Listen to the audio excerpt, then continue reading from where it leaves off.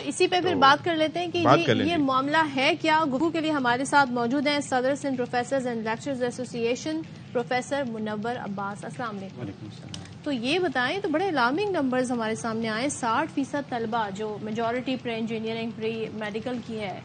तो ये तालीमी मैार गिर गया है या students are not doing good या फिर हमारे बोर्ड के कुछ मामला लाते हैं क्या? अभी आ, मेरे आने से पहले आप चिड़ियाघर की बात कर रहे थे हम्म। और चिड़ियाघर की सूरत हाल बता रहे थे कि बदतरीन होती जा रही है। मैं कह रहा हूँ कि तालीम की सूरत हाल चिड़ियाघर से भी बदतरीन है। हम्म। अगर ये सिंध में तालीमी मैार को चिड़ियाघर जितनी भी अहमियत दें तो मेरे ख्याल में ये सूरत हाल इतनी बदतर नहीं हो सकती। आप कह रहे हैं कि 40 फ़ीसद चालीस फ़ीसद से भी कम लोग पास हुए हैं। और जो पासिंग रेशो है उसको भी अगर हम एक तरफ़ रखें इनमें ए वन ग्रेडर्स कितने हैं? जी जी exactly. वो बच्चे जिन्होंने मैट्रिक में 90 परसेंटेज हासिल की है वो इस वक्त क्या हो गया कि वो फिफ्टीज में आ गए? ठीक है ये ज़रूर होता है। हम मैं ये नहीं कह रहा कि मैट्रिक का रिज़ल्ट मैार होता है इंटरमीडिएट के लिए। मैं ये नहीं कह रहा। लेकिन इतना भी गिरा हुआ मैार नहीं होता कि जो 90 परसेंट बच्चा आ रहा है परसेंटेज ले रहा है वो यहाँ 50 परसेंटेज पे आ रहा है। असल इशू की तरफ़ हम नहीं जाते हैं। वो क्या है? असल इशू है हमारी गवर्नमेंट की जो भी हमारी गवर्नमेंट रही उनकी तालीम मैार नहीं रहा। हम्म। ये तीसरा प्रोग्राम मैं आपके साथ कर रहा हूँ इसी इंटरमीडिएट बोर्ड के ऊपर। जी हाँ। इंटरमीडिएट बोर्ड में आप देखें गुजशत सात आठ साल से किसी एक बोर्ड में तालीमी बोर्ड में कंट्रोलर एग्जामिनेशन नहीं है। चेयरमैन बोर्ड्स नहीं लगाए इन्होंने। सेक्रेटरी बोर्ड नहीं लगाए उसका रिज़ल्ट क्या निकला? उसका रिज़ल्ट बार कौन थे? अनवार अहमद जई साहब या उसके बाद नहीं उसके अभी अनवार अहमद जई साहब के बाद तो दूसरे आए अभी डॉक्टर सईदुद्दीन साहब थे जो, जो ये ये खाली है ये पोस्ट या फिर एडिशनल चार्ज किसी को मिला है? अभी इन्होंने जो एडिशनल चार्ज कमिश्नर साहब को दिया वो कमिश्नर साहब को दिया है। इसमें इस पे तो हम बाद में आते हैं। देखिए इन्होंने जो तालीम के साथ जो खिलवाड़ किया है। बिलखसूस मेरे कराची के बच्चों के साथ सिंध के बच्चों के साथ जो खिलवाड़ किया है इसका कोई सानी हमें नहीं मिलता ना माजी में ना आइंदा कभी अल्लाह करे हमें अच्छा मुझे एक चीज़ बताइए ये जो आप बात कर रहे हैं ना इसके अंदर लेट्स टॉक अबाउट पढ़ाने में इशू है पढ़ने में इशू है पेपर्स की चेकिंग में इशू है पेपर सही बनाने में इशू है हुआ क्या है देखिए मैं वही अर्ज़ कर रहा हूँ कि एक तो मैंने माजी बताया। अब जो इस वक्त की जो सूरत हाल है आप तालीमी इदारों में आके देखें एक तो बच्चे नहीं आ रहे हैं। कॉलेजेस खाली पड़े हुए हैं। लेकिन जहाँ बच्चे आ भी रहे हैं मैं सारा कसूर बच्चों पे नहीं दूँगा। इसमें मेरे नज़दीक चूँकि मैं तो जाता रहता हूँ सबसे ज़्यादा जो प्रॉब्लम हमें फेस करनी पड़ी है खुद इंटरमीडिएट बोर्ड की तरफ़ से करनी पड़ रही है। आपके मैं हैरान कन बात आपको बताऊँ ये जो असेसमेंट हो रही है आप इनका डेटा ज़रा निकाल के देखिए कॉपियाँ चेक कौन कर रहा है? कराची का उस्ताद मेजॉरिटी कॉपियाँ असेस नहीं कर रहा। उसकी बहुत सारी वजूहत हैं। एक तो इनको इंटरमीडिएट बोर्ड की तरफ़ से जो रिस्पांस मिलता है, उनको जो इज़्ज़त और एहतराम मिलता है, वो बड़ा एक मिसाली है। फिर इनको जो रिमनरेशन मिलता है, वो एक साल गुजरने के बाद मिलता है और वो इंतहाई कम होता है। इसलिए बहुत से इस तो असेसमेंट नहीं कर रहे ये जो असेसमेंट हो रही है, न जाने कौन लोग कर रहे हैं, एक बात ये है। दूसरी बात यह कि बोर्ड में अक्सर हमें शिकायतें मिलती हैं, कॉपियाँ गुम होने की। अभी मेरी रात ही बात हो रही थी अगर आप कहें तो मैं कॉलेज का नाम भी ले लेता हूँ मुझे कोई हर्ज नहीं अगर ये मसला होगा तो स्टूडेंट कंप्लेन कर देंगे। देखिए स्टूडेंट्स तो बेचारों को क्या मालूम? उनको तो ये कि जी आप फेल हुए हैं। आपकी जी इतनी परसेंटेज डिक्रीज हो गई है।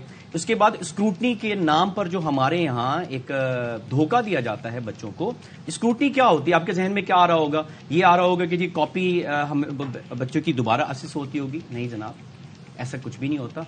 टोटलिंग चेक की जाती बाहर के नंबर्स को चेक किया जाता है। सिर्फ़ चेक किया जाता है होता है। लेकिन मेरा सवाल ये है कि देखें जब कोई बच्चा पेपर दे के आता है तो आपको पता है कि वो सही हो या गलत हो वो अस खुद जिन जिन चीज़ों को पढ़ के जिस जिस हिसाब से उसने पेपर सॉल्व हम्म। किया होता है हम सब की आदत रही है कि वो कैलकुलेट करता है। और उसे ये पता होता है बसा औकात कि मैं कितने पानी में हूँ। बिल्कुल ठीक है?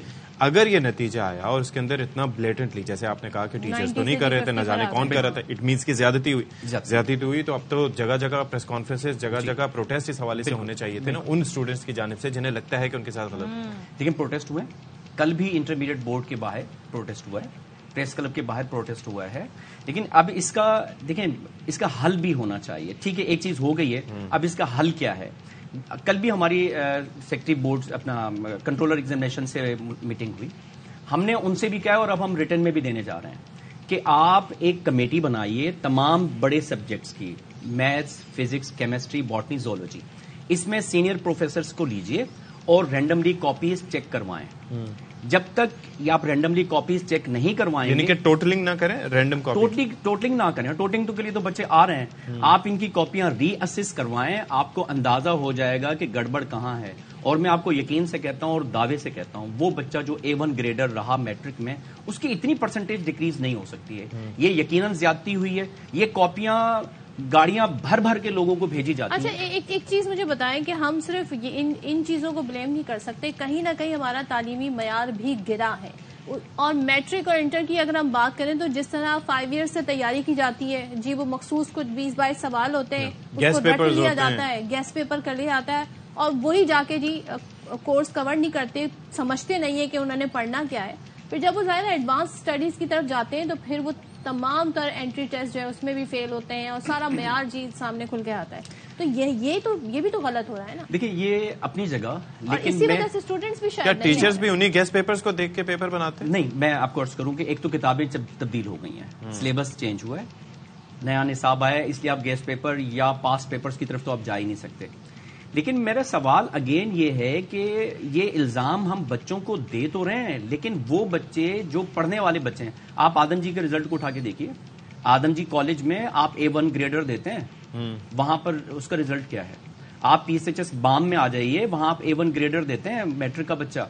वहाँ का रिज़ल्ट क्या है? बड़े बड़े इदारों के रिज़ल्ट जो हैं वो खराब हुए हैं। आप बहरिया कॉलेज को उठा के देख लीजिए प्राइवेट इदारों नहीं फिर आ रहे अगर किताबें भी चेंज हो गई सिलेबस भी चेंज हो गया तो क्या मतलब टीचर्स अच्छा नहीं पढ़ा रहे हैं? वो क्वालिफाइड नहीं है? क्या क्या वजह है? मेरे ख्याल में टीचर्स तो क्वालिफाइड है। इसलिए कि वो पब्लिक सर्विस कमीशन से आते हैं गवर्नमेंट कॉलेज की हम्म। बात करते इंटेंट की बात है या इंटरेस्ट की बात है मेरा ख्याल ये है कि जो गड़बड़ हुई है वो इंटरमीडिएट बोर्ड में हुई है। मैं अच्छा। इससे बिल्कुल यूँ समझने के वाजे हूँ कि गड़बड़ हुई है इंटरमीडिएट बोर्ड के अंदर हुई है। मैं ये नहीं कह रहा कि जानबूझ के तो हुआ फिर है इसका मतलब मुझे ये बताइए कि आपके हमारे पास तो डेटा पास होने वालों का है ना? आपके पास तो ये भी होगा कि ए वन ग्रेड्स कितने लोगों ने हासिल किए ए ग्रेड्स कितने कितने ने किए?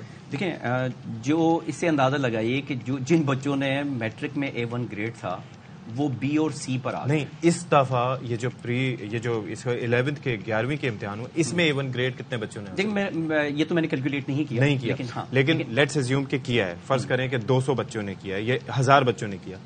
उन्होंने किस बुनियाद पे हासिल किया? देखिए उन्होंने तुक्का?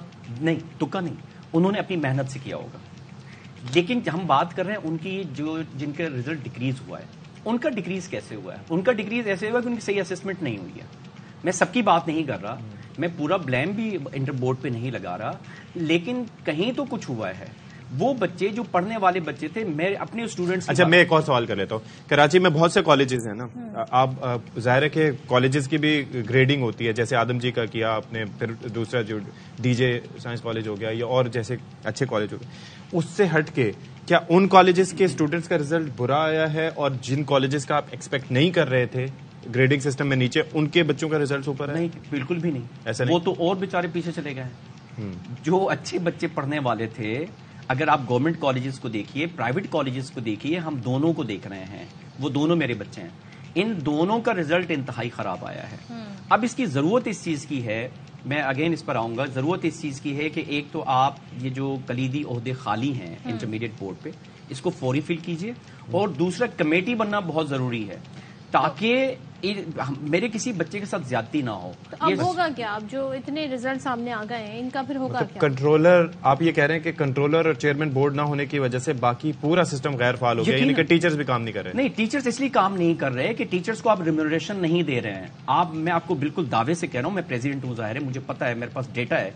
कि हमारे इस असेसमेंट पे नहीं जा रहे हैं बहुत कम तबका है इस का क्वालिफाइड इस का हम्म। जो असेसमेंट कर रहा है इसलिए कि ना वहाँ पर इस वक्त कंट्रोलर एग्जामिनेशन है चेयरमैन साहब कमिश्नर हैं हम्म। कमिश्नर साहब अपने ऑफ़िस में बैठ के वो जो है वो तो उन्होंने आपको ये तो पता चला होगा किसको टास्क दिया है इस दफ़ा असेसमेंट करवाने का असेसमेंट का देखिए ज़ाहिर है वो टीचर्स को बुलाते हैं हाँ, हाँ। अब वो कोई भी चला जाए वहाँ पर उसको कॉपियाँ मिल जाती हैं हम्म। अच्छा। बगैर ये देखे हुए कि ये किस तालीमी इदारे से है बस मेरी जान पहचान का है मैंने भेज दिया चलो जी इसको तो कॉपियाँ दे दो। सॉर्ट आउट होगा या ये रिज़ल्ट ऐसे कैसे ही रहेंगे? देखिए सॉर्ट आउट होना चाहिए।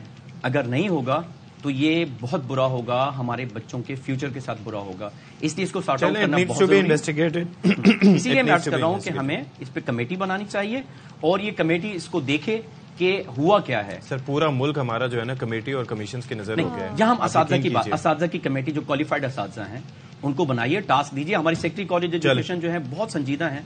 अगर उनको भी टास्क दिया जाए तो मेरे ख्याल में बहुत अच्छे इसके चले। Thank you so much thank you so much ज़ाहिर बड़ा इंपॉर्टेंट इशू है और ज़ाहिर तलबा ये फ्यूचर होते हैं किसी भी मुल्क का और ये जनरेशन जो है जी ज़रूरत है इनको सही डायरेक्शन पे लेके जाने की ताकि इनका जो तालीमी अमल है वो हम्म। उसमें मुतासर ना हो।